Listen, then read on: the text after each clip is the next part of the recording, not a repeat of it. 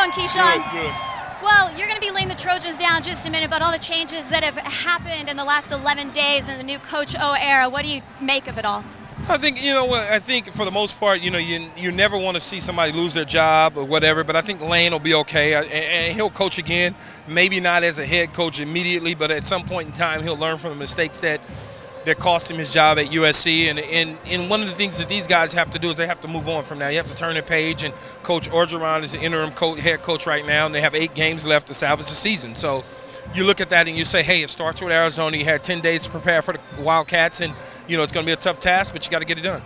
And depending on the outcome of that, this could be such a memorable game for so many of these Trojans. What's one of your most memorable games or moments that you remember here at the Coliseum? Well, I think, eh, God, I got to go back to the Stanford game in, in 1996 to help us get to the Rose Bowl. We were down and we wind up coming back and, and going on and winning and, and going into the Rose Bowl. Now, I know you have to get up there, but just one last question I have to ask. Such a great football career. Maybe your dancing career, I think, got cut a little bit short. It really did. I was voting for you.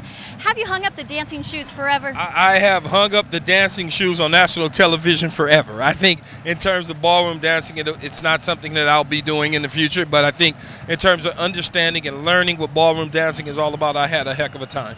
Now I have to ask, I know nothing about dancing. I know you did the cha-cha-cha.